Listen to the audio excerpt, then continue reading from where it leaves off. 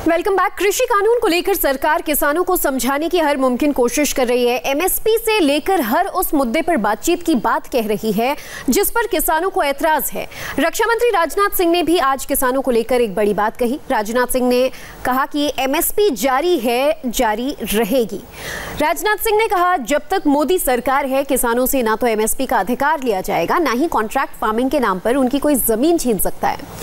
राजनाथ सिंह ने विपक्ष पर किसानों को गुमराह करने का आरोप लगाया। कृषि को लाभकारी बनाने का जो बड़ा सुधार कार्यक्रम अटल जी के दौर में शुरू हुआ था, उसे आज हमारे प्रधानमंत्री श्री नरेंद्र मोदी जी एक नई ऊर्जा और ताकत देने का काम कर रहे हैं। साथियों, मैं मोदी जी के नेतृत्व में कृषि कल्याण की दृष्टि से लिए गए सारे कदमों की चर्चा तो नहीं करूँगा, मगर इस साल जो तीन नए कृषि कानून बने उन पर अपनी बात थोड़ा विस्तार से ज़रूर करना चाहूँगा। इसके माध्यम से किसानों को अपनी उपज जहाँ चाहें, वहाँ बेचने की सही मायनों में आज़ादी मिली है और अपनी फ़सल को बेचने में होने वाली समस्याओं का अस्थायी समाधान भी उन्हें मिला है। अब इस देश का किसान मंडी में अपनी मेहनत गिरवी रखने के लिए मजबूर नहीं है। इन कृषि कानूनों के बन जाने के बाद देश का हर किसान पूरे देश में कहीं भी यहाँ उसे बेहतर कीमत मिले, अपनी फ़सल बेचने के लिए पूरी तरह से आज़ाद होगा। बड़े दुर्भाग्य की बात है कि देश में ऐसे लोग जो किसानी का क भी नहीं जानते, ऐसे आसमानी किसान, हमारे भोले भाले किसान भाइयों को बहला फुसलाकर उन्हें दूसरी दिशा की ओर मोड़ रहे हैं।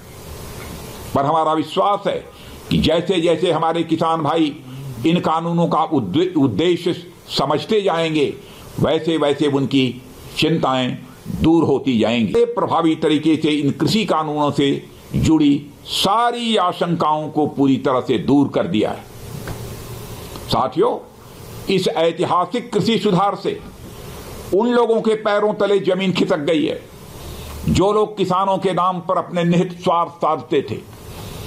उनका धंधा खत्म हो जाएगा। इसलिए जानबूझकर देश के कुछ हिस्सों में एक गलतफहमी पैदा की जा रही है कि हमारी सरकार एमएसपी की व्यवस्था खत्म करना चाहती है। जबकि सच्चाई इसके ठीक विपरीत है। वह प्रधानमंत्री मोदी जी ही हैं जिन्होंने स्वामीनाथन आयोग द्वारा प्रस्तावित एमएसपी फार्मूलों को स्वीकार किया है। और उसी फार्मूले के तहत देश में अब मिनिमम सपोर्ट प्राइस की घोषणा की जा रही है। इसी साल या कानून लागू लागू होने के बाद रबी की छह फ़सलों की एमएसपी की घोषणा की गई है, जिसमें लगभग डेढ़ गुने से दो गुने तक की एमएसपी में वृद्धि की गई है। एमएसपी खत्म करने का इरादा न इस सरकार का कभी था, न है और न आगे कभी होगा। राजनाथ सिंह किसानों को भरोसा दिलाने की कोशिश कर रहे हैं तो इधर किसानों ने 29 दिसंबर की सुबह 11 बजे सरकार से बातचीत का समय तय किया है। हालाँकि किसान अभी भी कृषि कानून की वापसी तक आंदोलन को जारी रखने की चेतावनी दे रहे हैं, लेकिन सरकार ने उम्मीद जताई है कि बातचीत के ज़रिए समाधान निकल जाएगा। कृषि मंत्री, कृषि राज्य मंत्री कैलाश चौधरी ने कहा, अगर किसान संगठन किसानों के नज़रिए से बातचीत करेंगे तो समाधान निकल सकता है। राजनीतिक दलों से जुड़े लोग अपने नज़रिए से बात करेंगे तो फिर समाधान निकलना कठिन होगा। किसी भी समस्या का हल है, वो बातचीत से निकलता है। और, निश्चित रूप से मुझे विश्वास है कि 29 तारीख को जो वार्ता होगी, उसमें किसान की नज़र से अगर वार्ता होगी तो निश्चित रूप से हल निकलेगा। क्योंकि राजनीतिक लोग हैं, वो इसमें राजनीतिक डालना चाह रहे हैं। किसानों के कंधे पर बंदूक रखकर निशाना साधना चाह रहे हैं।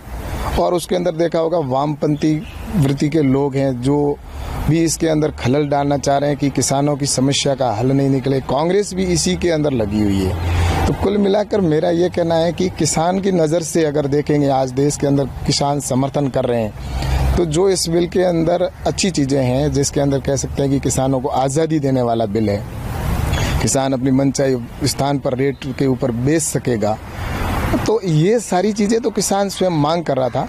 तो उसकी मांगों को लेकर अगर बातचीत होगी तो मैं सोचता हूँ कि निश्चित रूप से एक अच्छा परिणाम आएगा और हम आशावान हैं। और बिल्कुल ही उनतीस तारीख को किसान अपने मन की बात से अगर बात रखेंगे और जो किसान की बात करेंगे तो उसका हल निकलेगा और पर, और हमारी सरकार है वो निश्चित रूप से प्रधानमंत्री जी की भी यही इच्छा है। उन्होंने आ, किसान सम्मान निधि का जब लॉन्च किया था सभी किसानों के खातों में पैसा डाला था उस समय भी कहा था।